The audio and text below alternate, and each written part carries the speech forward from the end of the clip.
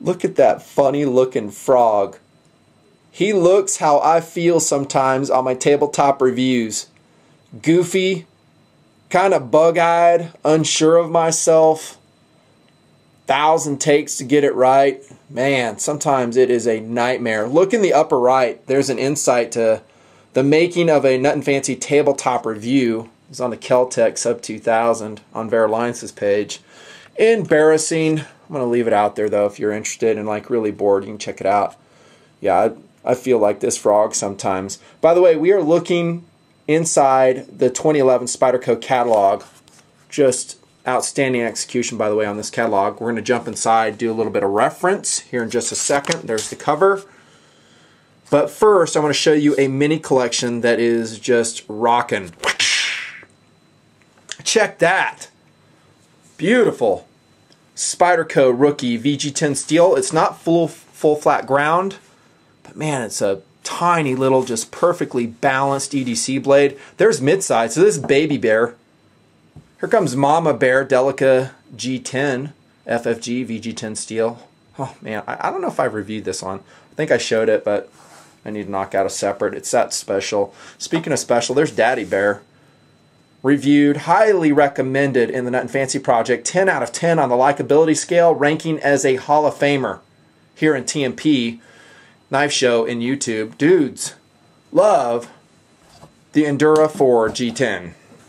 There's nothing I don't like about it. I said as much in my review. It's a hard use, full flat ground VG10 tactical folder, very thin, easy to carry, great pocket clip, blah, blah, blah. All the stuff I talked about, a little bit pricey about 110 $105 depending where you go while you can get it if you can get it. That's the endura 4 g10 say hello to a much more affordable also spyderco offering Cara Cara in g10 finally getting around to reviewing this.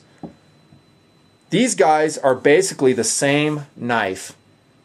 And you can score the Cara Cara g10 for less than one third the price Oh man, that is awesome value. This is such a beautifully executed blade, and in a lot of ways, I'm talking the Cara G10 here, it makes up all, not all, just a few of the criticisms I had on the Zytel handled version. I reviewed that like eons ago, 2008, 2009, whenever it was. It's still out there. Still a wonderful blade. I like it. I didn't really dig the handle so much though not so much. We'll get into the handle specifics, and there's some other things too. The blade grind, minor things. I think for the money, it's just a fabulous knife. But in every way, this model is an improvement over that Zytel Cara Cara. Another home run. I'll tell you right now, 10 out of 10 on my likability scale. Another Hall of Famer. Proudly standing side by side with the Endura 4 G10 jumping into the specifics. Philosophy of use on both blades, in my estimation, your mileage may vary, as I've said for years, is that it is a very slimline, hard use tactical folding knife. To me, it's a defensive blade that I carry as a last resort emergency defensive tool. Okay, that is made possible by a very slim carry size, uh, I shouldn't say size, but width. And the weight is a very reasonable 4.2 ounces. The Endura in the background is 4.4 ounces, so the weights are pretty much identical. That is a great tactical blade right there, and it's so slim. I've been carrying the Cara off and on for the last six months, and I love it. It's just a great blade. You might EDC the blade, philosophy of use. A little bit on large side size. I'd go for Mama Bear. I don't know. I don't know if I like how that sounded. let me say, I would carry this knife, go for Mama Bear. Maybe I would if she's hot. I don't know. You know, whatever euphemism. Are the Delica 4, you know, the in the regular handled version. I've been this is my mountain knife right here. That's why I put the orange lanyard on it. This is more EDCable to me. I speak and, and see a lot of comments from TNPers though, however, that EDC this life size. Okay, get it. Collectability, eh, on the Byrd series. And if you don't know, the Byrd is the affordable line of Spyderco. I think I have a bookmark here in the catalog somewhere. Here we go. So here we go. That's uh, Bravo Yankee 03 Golf is the call number. Cara Cara 2 actually in G10. That's also an awesome knife. The Meadowlark 2 G10. I think that that's basically a Delica. That would be, for me, and what I like them for, probably a better EDC choice. Collectability, not so much. I definitely would, and when I'm talking collectability, I'll go where I always go, not necessarily increasing in value, but that it's just special to you and you enjoy it. Okay, so I think maybe the Enduras, Delicas, the Rookies, the other special editions by Spyderco, top of the line blades with VG10 steel, maybe a little bit more special collectible. I don't know. That's where I see it. Steel blade shape. It's that beautiful full flat ground, in this case 8CR13 MOV. That's a pretty proven blade steel in a lot of high value, yes, overseas produced blades.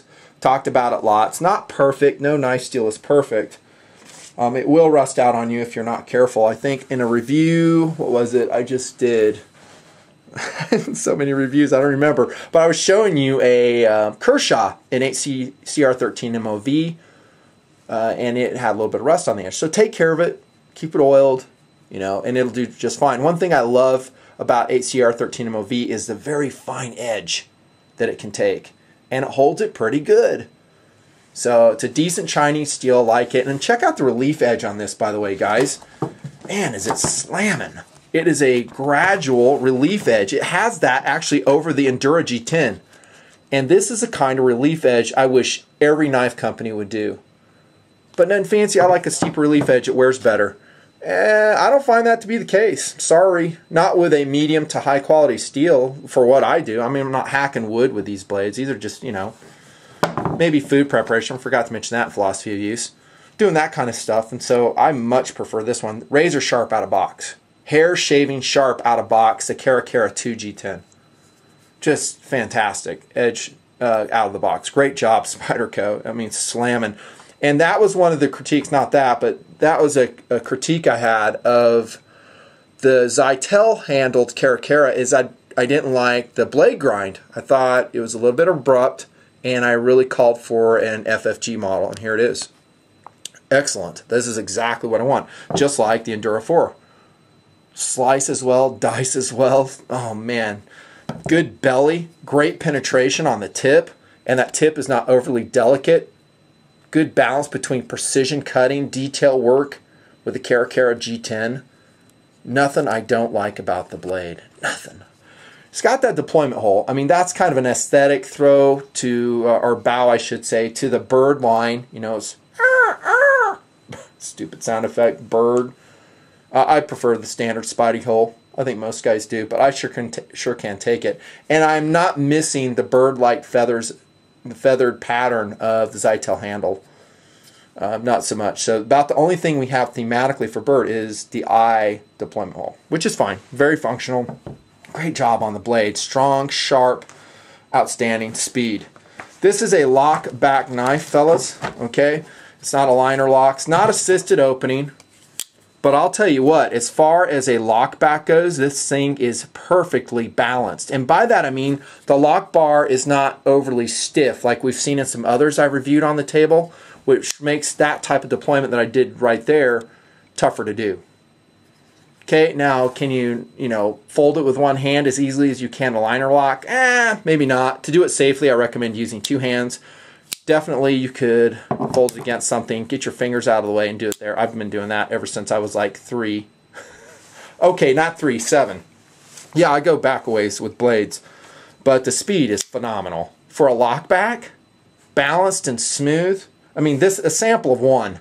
Uh, I shouldn't say sample one. I've handled several Cara Cara 2s, G10s, and they've all been smooth and fast. Lockup, very solid. No side to side, no up and down. If there was some side to side, you could eliminate some play right there. Just fantastic speed. I love this knife. Strength is excellent. I'm going to classify it as a hard use knife in the reality of a tactical folder. In other words, we're not really going to go batoning wood with it. It's not a survival blade. It is a blade that will, if you use it the way it's intended to be used, used won't fold on your fingers.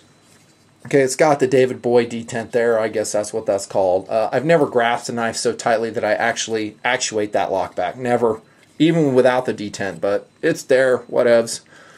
Strong, uh, you know, is it as strong as maybe a Cold Steel Triad lock? Eh, no, I wouldn't say so because the, the stresses are going to be transmitted directly to the lock bar right here, as you can see. Okay, there's no intermediary uh, mechanics there to take that stress. So if you are transmitting a lot of shock to that blade, it's going to come to lock bar. Eh, be careful. I, I think, though, for re realistic purposes, plenty strong. Handle material. Told you I'm not missing those feathers at all. Love the G10. Medium traction, overseas produced G10, I take it. Radius dwell, check that out. Let's compare it against Endura 4, why don't we? Because these are these knives are in competition with each other. They really are. In a lot of ways, actually, I think of these two blades, car guys, you're going to dig this, kind of like the Porsche 911 versus the Porsche Cayman. The Cayman's a very capable car. It rips. I mean, the 2011, I don't know if it's 2012 out yet. The Cayman R, it cooks at 0 to 60, 4.7 seconds, 66,000 retail. And then you have the Carrera 4S, 385 horse, 0 to 60 and 4.5, around 100,000. So they're basically the same performance levels. Actually, in some ways, the cheaper version in the Porsche outperforms the more expensive version. Don't know if Porsche intended that. Maybe we kind of got that going on here. I'm just saying, cool factors here. I'm going to say that and stick with that. But as far as capabilities, oh man, this Caracara is pretty slamming. Don't get me wrong, I still love my Endura. It's going nowhere. Look at the handle. We're talking about the G10. Good radiusing. It's not squared, so it's not ergonomic. Here's another thing they did absolutely awesome on this. And I've been harping on this since 2008 and there's been progress made. I'll tell you. Are they watching Nutnfancy videos? Don't know. But they are doing what I've been advocating. That is aggressive milling of any steel liners. That is about as milled out as you could possibly ask for, courtesy, courtesy uh, lighting courtesy of the Preon 2 47s. Check it. Milled out. That's why it weighs only 4.2 ounces. You know, if it wasn't milled out, would add that much weight. Uh, no, maybe half an ounce, maybe a third of an ounce but I like paring it down whenever I can. There's also some milling out on the steel back spacer bar right here. Aesthetic, maybe a very, very slight amount of weight. Handle is excellent. You can take it apart if you need to. Mini Torx right there. Just like you can the Endura 4. Man, I love that handle. How about traction-wise between these two? Which one has more traction than fancy? This one does. This is a higher quality G10. I would expect that. It's a more upscale blade. Not sure the sourcing on this Sage Color G10. This has a little bit less traction. Does it really, really matter? Mm, I would say for most folks, probably not. Probably not. Great job on the handle, though. Look how similar they are, by the way, in shape. Very similar. A little bit, you know, there's some sculpting differences between the Endura 4, Caracara 2, G10, ergonomics. It just keeps getting better, guys. I mean, this is why I said right out, I'm so confident. It's rarely I will say on video what my likability scale is unless it is just absolutely squared away. And then I'll put it in recording on the video because I know it's not going to change. Look at the jimping.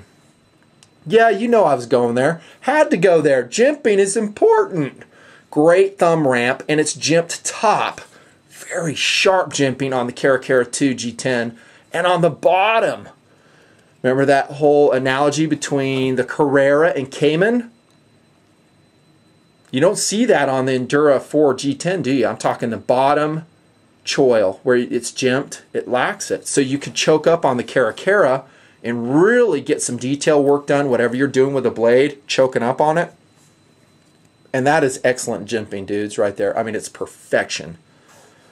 Yeah, the ergonomics, because of the jimping, slam dunk. The handle, I said, doesn't have any sharp edges in the hand. Reverse and forward grips are excellent for the Caracara 2 G10.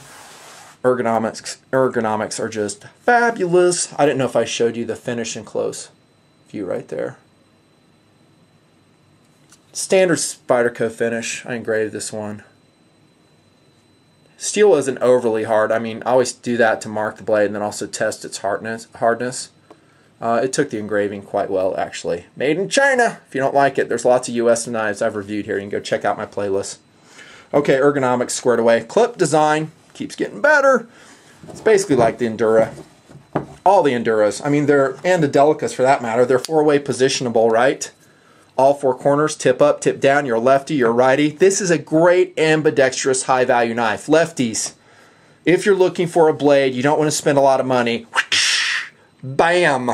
There it is, Cara 2 G10. Position it however you want. If you're like me, you're going to carry tip up. That way as it comes out of pocket, ready for actuation. Immediately. Not pocket deployable like a waved knife, but, you know, that's not a big deal to me. Uh, the clip on this model carried a little bit loose, so I detached it and bent it so it had more tension under it. This is where I'm at now. Oh, way, way tight now. Easy to do, not a big deal. And actually it has more tension than the Endura 4 does. You see I can lift that one kind of readily. You know, is that a thicker stock? I don't know. They seem pretty similar. The design, the designs between the pocket clips are pretty similar. I wish this one was blackened like the Endura 4. However, I can blacken that easily. I mean, I can just Duracoat it if I have to. No big deal. There's your lanyard hole in the handle, by the way. Wish it carried a little bit deeper. Okay, it's basically where it's always been in the Endura series. It's a little bit down. You're going to have a little bit sticking out of the pocket. Not a super deep carrying knife. Um, great job in the clip, though. And no Wizard of Oz goofiness issues. Always be careful when your clip's sticking out of your pocket. You're walking by your cars, guys. Man, I have scratched vehicles. My vehicles, uh, bad doing that. I think a few others have as well. Value. This is where it just gets so exciting. At least for me personally. That's because you can score this Cara 2 G10 model for around $28. $28? $28 for this knife? For everything I'm showing you? That is sick. $105? I love this knife. The steel difference is a lot of the cost. Understand that. Chinese 8CR13 MOV VG10. Don't get me started on how awesome VG10 steel is. So I don't want guys to say, "Well, that's a better knife." In some ways it is, but the steel, the VG10 steel, superior to this one. Let's just keep it real. It is very rust resistant. I've shown you in snow on backpacking trips how VG10 steel overnight does not even rust. Keeps its edge. No, it's not a miraculous steel, but it's probably one of my favorite medium to upper end steels around that won't break the bank. Value smoking. Let me show you some alternatives. If you're going to spend $28, what else could you get for your money? A lot of TNPers just love it when I do this. This is just coming out of the Nutnfancy knife drawer. How about the Ontario Rat 1? There's one in plain satin, plain edge. Here's a prototype coated. This is my first special edition Ontario Rat 1. That's an AUS 8 steel. The Rat 1 is 4.8 ounces. It's a little bit heavier, AUS 8 steel full flat ground, an awesome knife. Nothing I can say bad about it. Maybe this one design might be a little bit stronger because it's a liner lock. Although I did do my stabbing protocol with an Ontario Rat 1 and it passed with absolute flying colors. Price on these nowadays, 25 to $30. Price on these these days, 25 to $30. Totally worth it, the Ontario Rat 1. Good alternative different blade shape, full fat ground, you know, maybe not as precise a tip, if you will. How about this one, man? Haven't seen this in a while, have you? Kershaw Tremor. Oh man, the Tremor is so sick. 1950 is this model. Six ounces though. Kind of dominates the Cara in terms of size. For guys who said, yeah, I don't mind EDC in a big blade. Yeah, EDC a Tremor sick. Un, uh, well, slightly jimped, not jimped, but milled steel liners on the Tremor. Price is just amazing. $26 on this at most places. Maybe a little more, a little less. Great alternative to this. Not full flat ground. And this is assisted opening too. Thicker too. Heavier. It's an alternative. It's in the ballpark for cost, right? Just showing you a few alternatives. How about the Kershaw Clash? Haven't shown you that one on the TNP camera before. 4.6 ounces, model 1605. This is a plain edge satin, about $24. Can't lie to you, I would pick the Cara G10, you know, all the way over that knife. All the way. It's not even a competition. Not even close. Just love everything about that full flat ground, longer blade. Eh, not that this is a bad blade, but mainly it's a grind problem and it's a thickness problem in the carry of the knife. And look at that goofy clip. That's Wizard of Oz. I'm just saying. What else we got here? Oh, yeah. Don't forget CRKT Sumo. This is model 1165 plain edge in satin. $28, 8CR, 14 MOV, basically the same steel. Super, super light. I forget the weight offhand, but it's like I don't know, sub four ounces. It's amazingly light, like 3.2, 3.4 ounces. Love this knife. Hollow ground though, it's not FFG. Need to be sharpened out of box, at least for my liking. This, this is a flipper design, okay? Comes out fast, beautiful knife. Unfortunately, because of the design, the aesthetics, which I said in my review, you know, tip down. That's a good option. How about this one? You guys are going to dig this one. How about the Buck? Oh man, that's a good knife. Buck Vantage Force 3642. Hey, wait a minute. What is that doing in this review? I just threw that in there for laughs, dudes. This is totally not in the same price range. This is around $75. S30V steel. I'm just throwing it in there to freak your mind cone. Beautiful knife, though. I need to review that knife. Look at that. How beautiful that is. S30V blade steel. That's like upper end. So yeah, it's you could buy two of these for one of those. Still, that's not a decent price for S30V. There you go. Couple couple ones. I got some more on the table, but I'm running out of time. Value is smoking. Smoking for the Caracara 2 G10. Cool factor, not so smoking. It isn't. It's made in actually China, guys. So, I mean, how cool is that? 8CR 13 MOV, nothing special about that. It is a working blade. Just like its the littler brother, the Meadowlark right here. I need to get one of those. I need to get like three of those. I love them. These knives are so freaking squared away, I just don't even know what to say. I, don't, I guess I do know what to say. We're 21 minutes in that. Look at that. Totally fits in the catalog. That's a great way to end the review. That is a Caracara 2 G10. There's nothing I don't like about the blade. Yes, it's overseas produced, produced, but if you want it USA produced, it's going to be around $50, $60, maybe even more. That is a Nutnfancy review. This is a Hall of Fame knife. It's easily make it into my best knives under $40 playlist and also some others too. You'll see it there. Thanks guys so much for taking the time to watch this review and your support. You rock.